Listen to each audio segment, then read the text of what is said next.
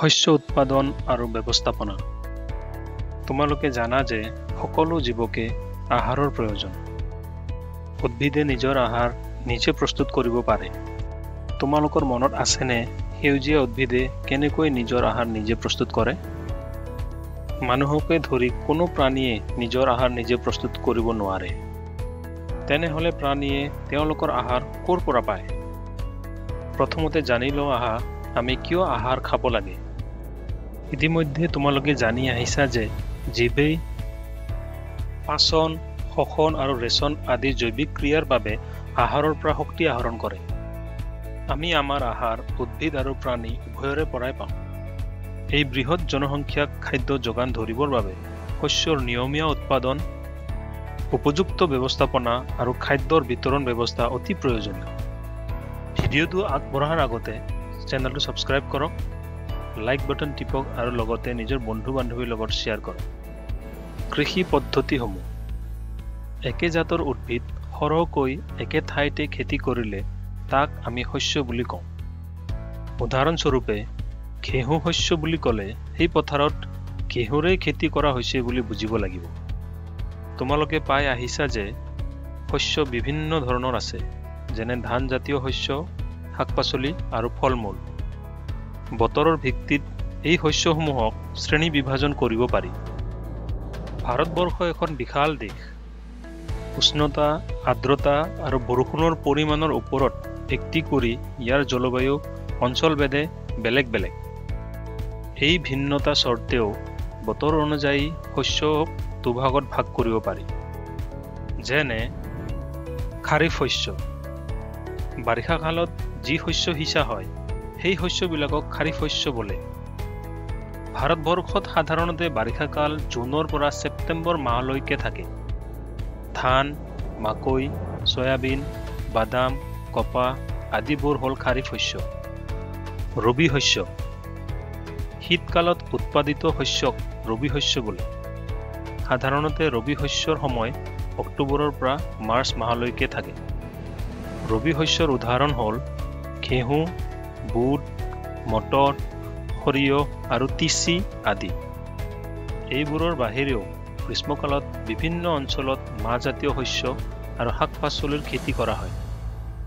শস্য উৎপাদনৰ মৌলিক পদ্ধতিসমূহ। শস্যৰ খেতি কৰিবলৈ খেতিয়কসকলে বিভিন্ন সময়ত বিভিন্ন কামত নিজকে ব্যস্ত ৰাখিবলগীয়া হয়। তোমালোকে বোধহয় দেখিছা যে এই কামবোৰ এজন মালীয়ে বাগিচাত কৰা কাম। বা তুমি তোমাৰ ঘৰত সৌন্দৰ্যবৰ্ধক উদ্ভিদ লগাওঁতে কৰা কামবোৰৰ সৈতে একেই। এই কামবোৰকে খেতি কৰাৰ পদ্ধতি বা কৃষি পদ্ধতি বুলি কোৱা হয়।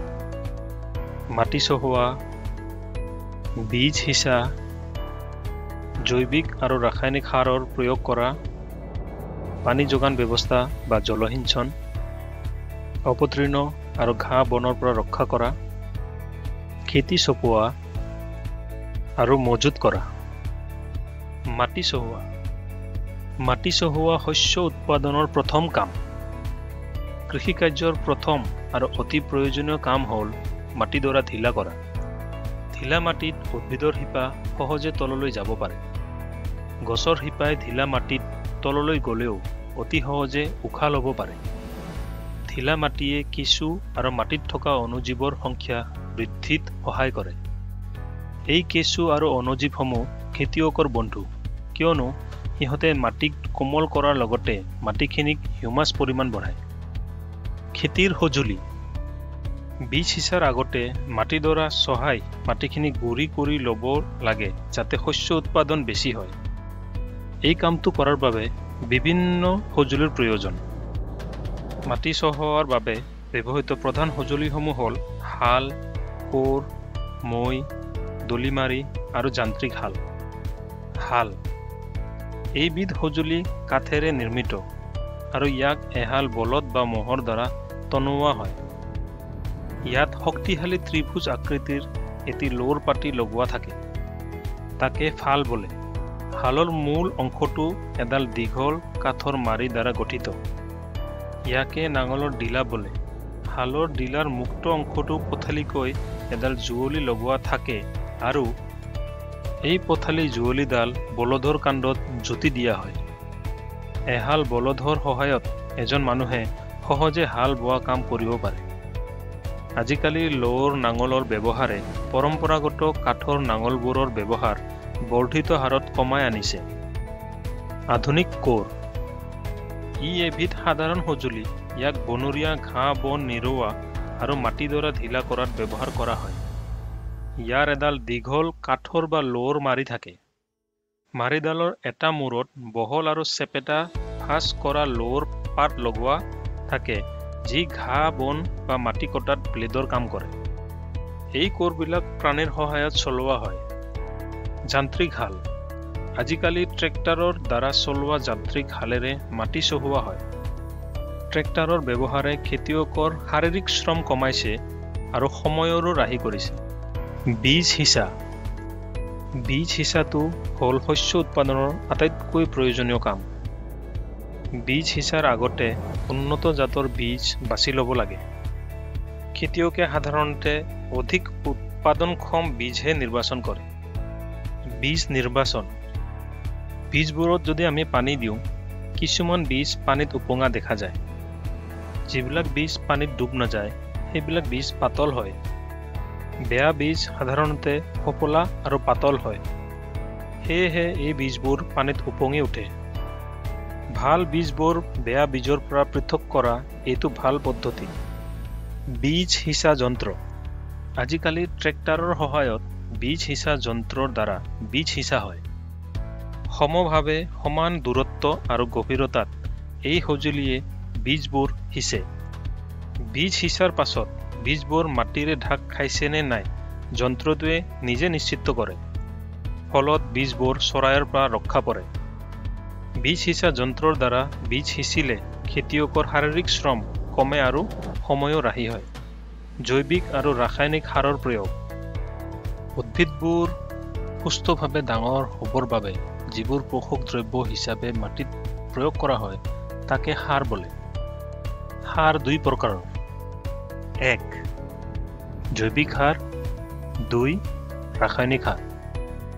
লেঠাৰে নিচিগাকৈ খেতি কৰিলে মাটিডৰাৰ পোষক দ্ৰব্য কমি যায়। তাৰ বাবে খেতিয়কে মাটিডৰাত জৈৱিক সাৰ প্ৰয়োগ কৰি পুনৰাই উৰ্বৰতা ঘূৰাই আনিব পাৰে। এয়ে মাটি সাৰুৱা কৰা প্ৰক্ৰিয়া।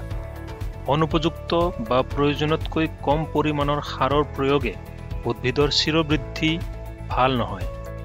জৈৱিক সাৰ এবিধ জৈৱ দ্ৰব্য উদ্ভিদৰ আৰু প্ৰাণীৰ বৰ্জিত দ্ৰব্যৰ আৰু সেইবোৰৰ দেহৰ পচনৰ ফলত জৈৱিক সাৰ পোৱা যায়। খেতিয়কে এখন মুকলি ঠাইত গাঁত খান্দি তাত উদ্ভিদ আৰু প্ৰাণীৰ বৰ্জিত আৰু পেলনীয়া দ্ৰব্যবোৰ পচিবৰ বাবে ৰাখে। এই পোষণ কাৰ্য কিছুমান অনুজীৱৰ দ্বাৰা হয়। এই পচি যোৱা বস্তুখিনিকে জৈৱিক সাৰ হিচাপে ব্যৱহাৰ কৰা হয়। জলসিঞ্চন সকলো জীৱকে জীয়াই থাকিবলৈ পানীৰ প্ৰয়োজন। উদ্ভিদৰ ফল ফুল আৰু বীজৰ বৃদ্ধি আৰু বিকাশৰ বাবে পানী অতি প্ৰয়োজন। উদ্ভিদৰ শিপাই পানী শোষণ কৰে। পানীৰ লগতে খনিজ পদাৰ্থ জৈৱিক আৰু ৰাসায়নিক সাৰো শোষণ কৰে। উদ্ভিদৰ দেহত প্ৰায় নব্বৈ শতাংশ পানী থাকে। পানী অতি প্ৰয়োজন কাৰণ শুকান অৱস্থাত বীজৰ অংকুৰণ নহয়। পানীত দ্ৰৱীভূত পোষক দ্ৰব্য উদ্ভিদৰ বিভিন্ন অংশলৈ পৰিবাহিত হয়। পানীয়ে শস্যক বৰফ আৰু উষ্ণ বায়ু প্ৰবাহৰ পৰা ৰক্ষা কৰে। শস্যৰ বৃদ্ধিৰ বাবে মাটিৰ আৰ্দ্ৰতা ৰক্ষা কৰিবলৈ খেতিপথাৰত নিয়মিতভাৱে পানী দিয়াৰ ব্যৱস্থা কৰিব লাগে। সময়ৰ বিভিন্ন ব্যৱধানত শস্যৰ পথাৰত পানী যোগান ধৰাকে জলসিঞ্চন বোলে। জলসিঞ্চনৰ উৎস। জলসিঞ্চনৰ উৎসসমূহ হ'ল নাদ বা কুঁৱা দমকল পুখুৰী হ্ৰদ নদী বান্ধ বা নলা। জলসিঞ্চনৰ আধুনিক পদ্ধতি। জলসিঞ্চনৰ আধুনিক পদ্ধতিয়ে পানী মিতব্যয়ভাৱে ব্যৱহাৰ কৰাত আমাক সহায় কৰে। ব্যৱহৃত এনে মুখ্য পদ্ধতিসমূহ হ'ল পানী ছটিওৱা ব্যৱস্থা। পানীৰ পৰিমাণ কম থকা অসমান ভূমিত এই ব্যৱস্থা অতি উপযোগী। পানী অহা মূল নলীডালত এটা নিৰ্দিষ্ট দূৰত্বৰ ব্যৱধানত আগমূৰত ঘূৰ্ণনশীল বিন্ধা থকা নলী লম্বভাৱে লগোৱা হয়। পাম্পৰ চাপযুক্ত পানী যেতিয়া মূল নলীডালেদি প্ৰভাৱিত হয় তেতিয়া ঘূৰ্ণনশীল বিন্ধাৰে পানী জোৰেৰে ওলাই যায়। বৰষুণৰ পানীৰ দৰেই শস্যৰ ওপৰত পানীৰ ছিটিকনি পৰে। পানী ছটিওৱা পদ্ধতি বালিয়া মাটিৰ বাবে অতি উপযোগী। পানী নিগৰোৱা ব্যৱস্থা। এই ব্যৱস্থাত পানী নিগৰাই টপ টপকৈ উদ্ভিদৰ গুৰিত পেলোৱা হয়। সেয়ে এই ব্যৱস্থাক পানী নিগৰা ব্যৱস্থা বোলে। ফলৰ গছ বাগিচা আৰু ডাঙৰ গছত পানী যোগানৰ ই এক উত্তম ব্যৱস্থা। এই ব্যৱস্থাত পানী মুঠেই অপচয় নহয়। পানীৰ অভাৱ থকা ঠাইৰ বাবে এই ব্যৱস্থা আশীৰ্বাদ স্বৰূপ। অপতৃণৰ পৰা সুৰক্ষা। খেতিপথাৰত সাধাৰণতে শস্যৰ বাহিৰেও স্বাভাৱিকভাৱে কিছুমান অপ্ৰয়োজনীয় উদ্ভিদো গজে। এই অনাৱশ্যকীয় উদ্ভিদসমূহকে অপতৃণ বোলে। অপতৃণ আঁতৰোৱাকে বনবাদ নিৰ্বাহ বোলে। যিহেতু অপতৃণৰো শস্যৰ সমানে পানী, পোষক দ্ৰব্য, ঠাই আৰু পোহৰৰ আৱশ্যক হয়, সেইবাবে অপতৃণ নিৰ্বাহ অতি প্ৰয়োজন। নহ'লে অপতৃণই শস্য বৃদ্ধিত প্ৰভাৱ পেলায়। কিছুমান অপতৃণই শস্য চপোৱা সময়ত বাধাৰ সৃষ্টি কৰে আৰু তাৰ কিছুমান প্ৰাণী আৰু মানুহৰ বাবে বিষাক্ত হ'ব পাৰে। শস্য চপোৱা শস্য চপোৱা এটি অতি দৰকাৰী কাম। পৈণত শস্য কাটি উঘালি অনাকে শস্য চপোৱা বোলে। ধানজাতীয় শস্য পকিবলৈ তিনিৰ পৰা চাৰি মাহ সময় লাগে। আমাৰ দেশত মানুহে কাঁচিৰ দ্বাৰা বা শস্য চপোৱা যন্ত্ৰৰ সহায়ত শস্য চপায়। চপোৱা শস্যৰ বীজবোৰ সীহ আৰু গা গছৰ পৰা পৃথক কৰা হয়। এই প্ৰক্ৰিয়াটোকে মৰণা মৰা বোলে। গৰু মহ ট্ৰেক্টাৰৰ দ্বাৰা মৰণা মৰা হয়। আধুনিক পদ্ধতিত অৱশ্যে শস্য চপোৱা আৰু মৰণা মৰা দুয়োটা কাম কম্বাইন মেচিনৰ দ্বাৰা কৰা হয়। শস্যৰ মজুতকৰণ। উৎপাদন হোৱাৰ পাছত এটা প্ৰয়োজনীয় কাম হ'ল শস্য সাঁচি ৰখা। যদি শস্যৰ বীজসমূহ বহু দিনৰ বাবে ৰাখিব লগা হয় তেনেহ'লে বীজবোৰক আৰ্দ্ৰতা কীট পতংগ এন্দুৰ আৰু অনুজীৱৰ পৰা বচাই ৰাখিব লাগিব। সতেজ শস্যত আৰ্দ্ৰতা বেছি থাকে। যদি সতেজ শস্যবোৰ নোহোৱাকৈ সংৰক্ষণ কৰা হয় তেনেহ'লে সেইবোৰ শস্য নষ্ট হ'ব পাৰে আৰু অনুজীৱৰ দ্বাৰা আক্ৰান্ত হ'ব পাৰে আৰু অংকুৰণ নহ'ব পাৰে। সেয়েহে সংৰক্ষণৰ আগতে বীজবোৰ ৰ'দত শুকুৱাই বীজৰ আৰ্দ্ৰতা নাইকিয়া কৰিব লাগে। ইয়ে বীজক অপকাৰী কীট বেক্টেৰিয়া আৰু ভেঁকুৰৰ আক্ৰমণৰ পৰা ৰক্ষা কৰে। প্ৰাণীৰ পৰা পোৱা খাদ্য। উদ্ভিদৰ দৰে প্ৰাণীও আমাক বিভিন্ন খাদ্যৰ যোগান ধৰে। সাগৰৰ উপকূলত বাস কৰা সৰহসংখ্যক মানুহে মাছক প্ৰধান খাদ্য হিচাপে গ্ৰহণ কৰে। উদ্ভিদৰ পৰা পোৱা খাদ্যসমূহৰ বিষয়ে তোমালোকে আগৰ শ্ৰেণীত পাই আহিছা।